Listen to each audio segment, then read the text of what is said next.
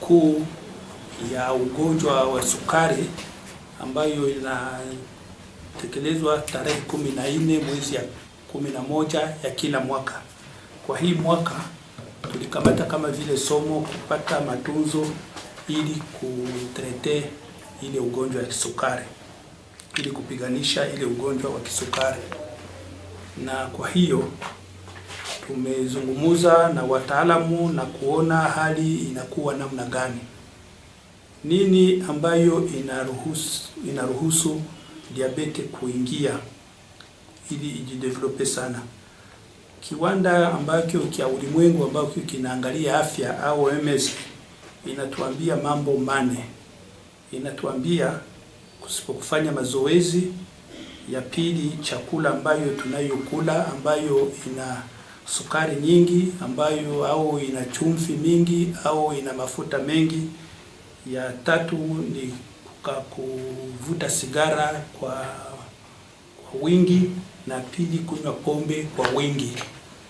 Kwa hiyo mambo mane, kuna kuwa ingine nayo fakteri ambayo ya kizalikio ambayo inatuma ile diabeti inaongezeka. Kwa jimbo letu la Sud Kivu au Kivu ya Kusini, kwa mwaka jana, mwaka wa elfu mbili makumi mbili ilikuwa waliorozesha watu wa elfu kumi na moja mia sita makumi nne na tatu ndio wameorozesha, lakini kwa hii mwaka wa elfu mbili makumi mbili na moja kwa hii miezi sita iliyopita wameshaorozesha watu elfu sita mia mbili makumi saba na mbili watu wapya. Kwa hiyo kuna vituo ambavyo vinahusika na kutunza hiyo ugonjwa wa sukari. Ukienda kwa zone de sante au tarafa ya afya ya Fizi, ya Nundu, ya Uvira, ya Kimbi Lulenge zimekuja kuongezeka kwa zile zingine ambazo zilikuwa zinatibu watu. Ni kwamba kwa zone de sante au kwa tarafa ya Ibanda, ya Kadutu, ya Bagira, Walungu na Katana ambazo zilikuwa zimesha integre hiyo matunzo ya kisukari. Nini tufanye ili tuepukane na hii ugonjwa?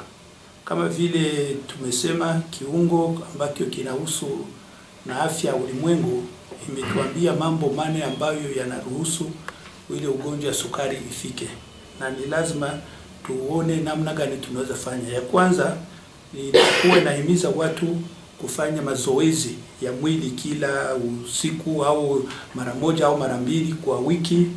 Inatuambia kukamata chakula ambayo haina sukari nyingi, ambayo haina chumvi mingi, ambayo haina mafuta mengi.